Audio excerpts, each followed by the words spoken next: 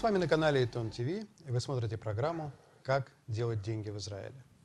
Я обращаюсь к нашему гостю, постоянному гостю, консультанту Цвету Рефу. Скажи, пожалуйста, э, банки. Мы говорили на прошлой встрече о том, что бизнесу, ко- которому надо подняться, которому надо начать развиваться, необходимы деньги. Деньги можно взять в разных местах. Да? Можно у друзей, у знакомых, можно еще у кого-нибудь, можно в банке, можно в фондах. Про фонды мы говорили в прошлый раз. Теперь банки. Казалось бы, все ясно и просто. Ты идешь в банк и берешь деньги. Но это только на первый взгляд. Какие трудности подстерегают потенциального, скажем так, заемщика, человека, который стремится получить деньги для своего бизнеса, в обычном заведении, которое для этого как бы предназначено, в банке? Начнем с того, что просто взять деньги в банке, но стеклянно, если они там есть. Это раз. Второе, это непростое заведение. Кстати, Банк- стеклянная банка – это большая редкость в наше время. Надо пояснять людям, что Да. это такое, Так молодым особенно. Так вот, э, банк очень серьезная организация. Ее, скажем так, предпринимательский вес, как правило, намного-намного больше, чем предпринимательский вес, э, скажем, владельца небольшого бизнеса. И надо уметь с ними работать. Это непросто. Но есть случаи, когда фонды просто не стоит идти в силу бюрократических процедур, времени, которое это занимает, или, скажем, это небольшая сумма, и, в принципе, нет смысла заводиться со всей этой процедурой, хотя и можно было получить, наверное, из фондов. Да быстро и просто получить в банке, относительно просто. Э, Банк э, это коммерческая организация, надо четко совершенно понимать, поэтому интерес дать деньги. То есть это организация, которая продает деньги. Совершенно верно. Она То хочет есть это заработать. обычная торговая организация. Совершенно, ну, Да. в кавычках. Они хотят заработать. Их интерес дать деньги. Поэтому тот, кто приходит и говорит, а вот мне не хотят дать деньги, это э, не совсем так. Они бы и рады дать. Клиент не тот. Но страшно. Да, точно так же, как любой предприниматель, к нему приходит некий заказчик, он на него смотрит, говорит, страшно давать ему день, э, не деньги, скажем, да, а предоставлять услуги Продукцию или продавать кредит, товары. да, Да, согласен. Страшно. Точно, точно так же банк. Но в принципе банки очень заинтересованы, очень хотят хороших клиентов и с удовольствием дают им деньги. Вот несколько слов, пожалуйста, вообще о банковской системе Израиля, потому что она немножко отличается, например, от системы, которая существует там в странах бывшего Советского Союза. Ну, скажем, наверное, Она больше похожа на европейскую или на американскую? трудно сказать, я не знаком ни с Она американской, своя, ни с своя, оригинальная, Не знаю. да? Нет, она не оригинальная, это уж точно. Строили ее выходцы из Европы. Так что я думаю, что она ближе, наверное, к европейской, но это не важно. Здесь формировалась своя банковская система. У нас банков немного. Всего 15 банков есть в Израиле. Но, По-моему, в Санкт-Петербурге раза в два больше банков. возможно, но терри- ну, так население у нас как бы такое же А население примерно, да? такое, как в Санкт-Петербурге. Но израильские без банки- Ленинградской области. Да, ленинградские банки, ленинградские, израильские банки, они э, исключительно солидные, пользуются заслуженным авторитетом в мире. Два банка, Апуалим и Леуми, входят в 150 крупнейших, в 100, слегка, извиняюсь, 100 крупнейших банков Израиля, Дисконт 150 крупнейших банков мира. Но это не выглядит, то есть вот солидными они не выглядят. выглядят. Ты приходишь, я слышал просто отзывы от людей, с которыми мне приходилось иметь дело, ну, относительно э, свежих репатриантов, которые говорят, что это такое, что это банк? Я подхожу, там стеклянная дверь, никакой бронированный охранник стоит не всегда. Заходишь, там крошечное помещение, сидят там 2-3 человека. Хорошо, это мы потом как-то поговорим о ментальности. Договорились? Кстати, о Э, ментальности это- надо да, поговорить в это следующей вопрос- программе, вопрос это очень интересно. Значит, еще раз. Смотрят, надо смотреть на банки не по внешнему виду, а что они способны сделать. Какие операции они проводят, насколько они хорошо работают, насколько они устойчивы. Израильские банки, вот прошу обратить внимание, за э, весь кризис 2008 года и сегодня, в принципе, в мире, мир охвачен финансовым кризисом. Ни один израильский банк не подошел близко даже к границе риска, границе опасности. Но один банк пытался, и мы знаем об этом. Это не он пытался, это, скажем так, они были тоже далеки от того, чтобы попасть в зону риска, и их вовремя остановили, что называется. Поэтому э, израильские банки очень консервативны. По сравнению с американскими банками, э, тоже рассказывали там в Америке, пожалуйста, взял одну суду, другую суду, один раз дом, другой раз дом. Здесь номер не проходит такой. Но в результате у нас и не будет такого кризиса, как в Америке. То есть за счет того, что израильские банки не такие добрые, как Да. банки, скажем, американские, Они более устойчивы. это, это более устойчивая Да, система. да? То есть нету идеальных э, систем. Есть плюсы, есть минусы. Хорошо, но нам, как простым потребителям, который хочет получить суду в банке, это наоборот сложнее. То есть получается, что э, нам ставят всевозможные препятствия, Нет, там препятствия требуют не дополнительные ставят. бумажки. Нет, не препятствия ставят. Просто банкам надо уметь работать. Надо понимать, что банк хочет от своего клиента. Хорошо, так что же банк хочет? И как с ними бороться? Бороться с ним не надо, наоборот, банк надо сделать партнером, чтобы есть- он хотел помочь. Как в той старой перестроечной рекламе, да? Мы не халявщики, мы партнеры, да? Свежего предания. Так. Э, Так вот, э, еще раз. С банком нужно уметь работать. Нужно понимать, что они хотят. Нужно с ними говорить на одном языке. Э, в первую очередь, банк хочет видеть, понять, вернее, кто его клиент, что он из себя представляет, чем он занимается, насколько он человек надежный или бизнес надежный в данной ситуации. Мы Ну а говорим. поскольку встречают по одежке, то не рекомендуется приходить в банк, например, в майке и в шортах. И в Да, шлепанцах, если вы да? не занимаетесь, э, скажем, ремонтами. Если вы придете в э, тройке, в костюме, вы придете в костюме тройки и скажете, вот у меня ремонт там по бизнесу и по перевозкам, на вас посмотрят тоже непонимающие. Опять мы костюме- возвращаемся к ментальности. тройка, костюме тройка Слушай, Израиле мы возвращаемся к ментальности. Согласен, Остановимся. ментальности мы будем говорить в следующей Банк, передаче. банк интересует гораздо больше. Ваши финансовые показатели как бизнеса. Если у вас новый бизнес, они хотят увидеть, как правило, бизнес-план, понять. То есть какие-то документы принести Да, надо. что вы хотите э, делать, насколько это реально, насколько, это, насколько вы соответствуете этой идее. Если приходит человек, который ни сном, ни духом, у меня сейчас был звонок, человек хочет открыть кафе. Ни сном, ни духом, никогда, вот просто хочется. Нет шансов, что он получит деньги. Не потому, что банк злой, а потому, что не хочет терять деньги на это. Потому что очевидно, что человеку не, у человека не получится этот бизнес. Да, но интересно другое. Э, Особенно вот в конце года это было характерно, в конце декабря многих клиентов обзванивали работники банка и предлагали, не хотите Совершенно взять верно. суд? Совершенно верно. ли- Только давайте проведем статистику. Кому они звонили? Они звонили только хорошим клиентам. Только тем клиентам, у которых есть репутация, что называется, банковская. хорошая позвольте, банковская позвольте история. не согласиться. У меня есть много примеров, когда звонят, предлагают такие суды, берут там один вот у меня сын моего знакомого, то есть мальчик, у которого не было ни доходов, ничего, там 20 с небольшим лет, ему предложили суд, он ее взял, радостно поехал погулять по Европе, Папа ничего не погулял, подписывал? Слушай, погулял, а папа ему вернулся. ничего не подписывал ничего в том не под- банке? Ничего не подписывал. Смотри, Погулял по Европе, денег нет, все. э, смотрите, банк, в принципе, готов рисковать. Если у этого мальчика в прошлом не было никаких проблем, если у него поступал У какой-то него проблем доход, не было, у него доходов не было. Значит, были какие-то доходы, если банк согласился ему дать определенную суду. Без доходов это не- нет чудес на свете. Банк не даст суды, если нет доходов. Если есть доходы, даст. Хорошо, по порядку. Значит, вот Итак, каким образом нам с ними В работать? первую очередь нужно себя уметь представить. Раз. Второе, нужно говорить на общем языке. То есть, вот скажем, я хочу получить в банке финансирование, неважно в каком виде.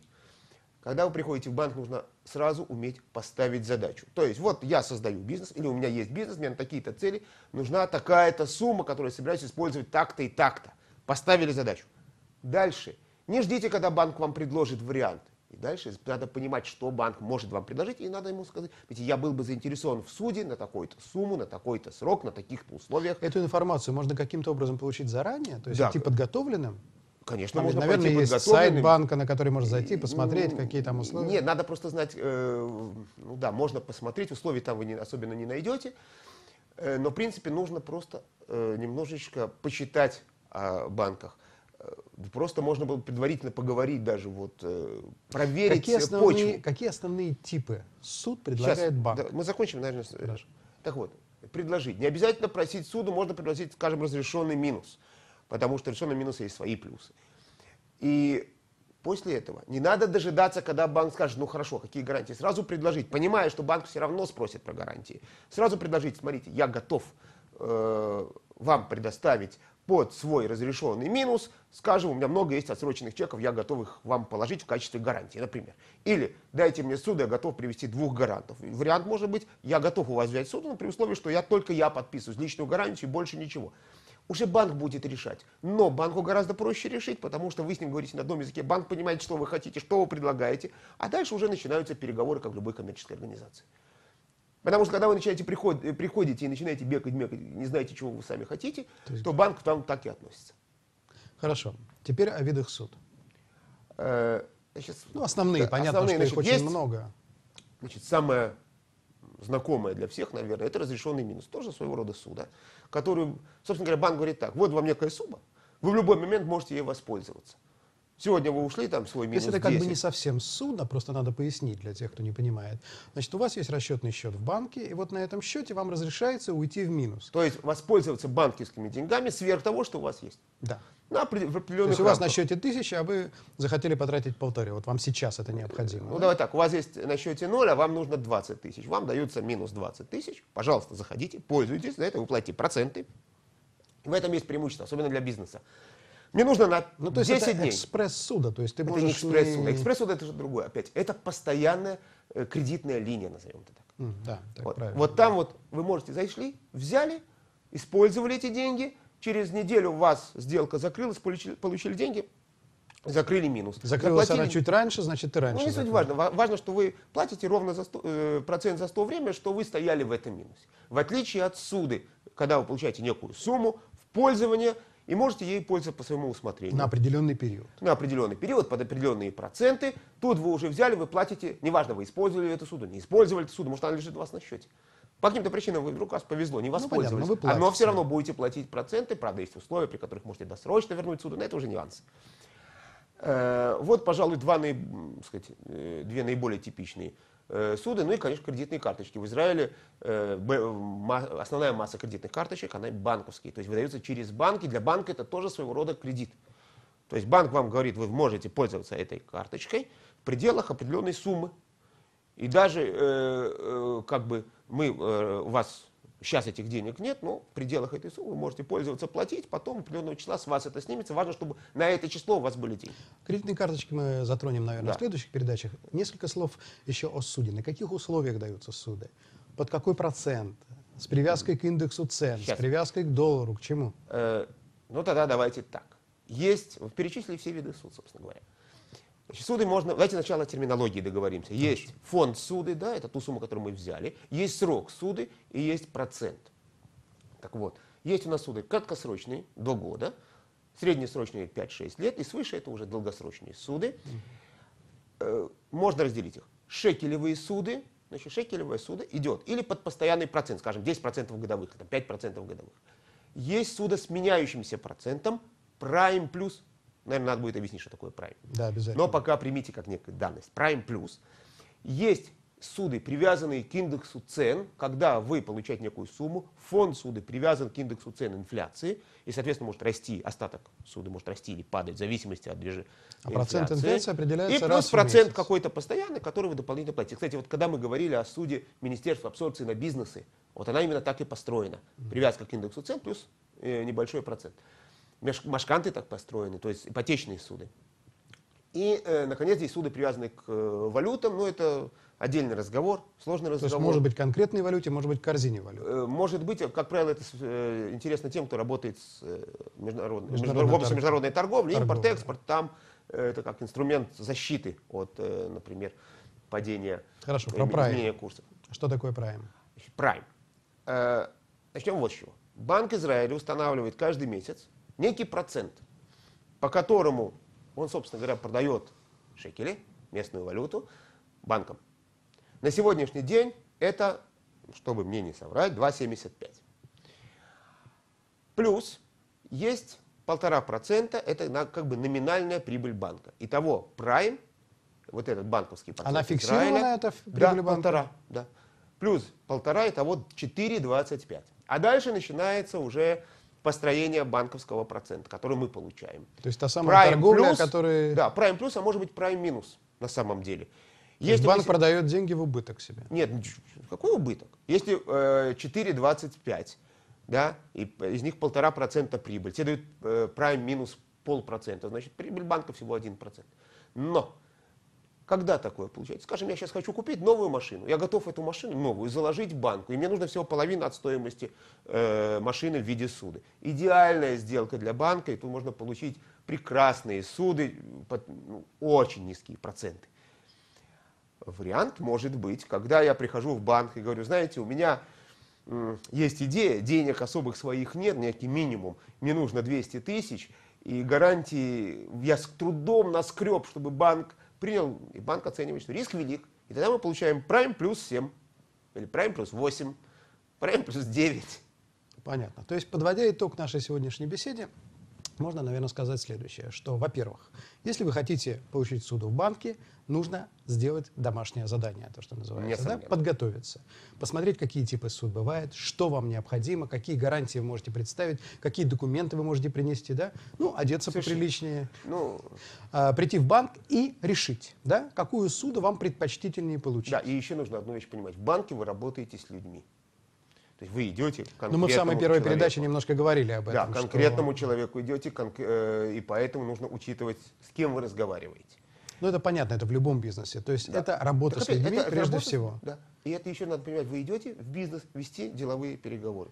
И кроме всего прочего, в заключение необходимо сказать, что с банком можно и нужно торговаться. Несомненно. Но только э, понимая, что Но в разумных, так в разумных пределах. весовые категории разные. Хорошо, но это торговаться нужно. нужно понимать. Итак, мы с вами на канале Этон ТВ. Вы смотрели программу «Как сделать деньги в Израиле». Всего доброго, до свидания.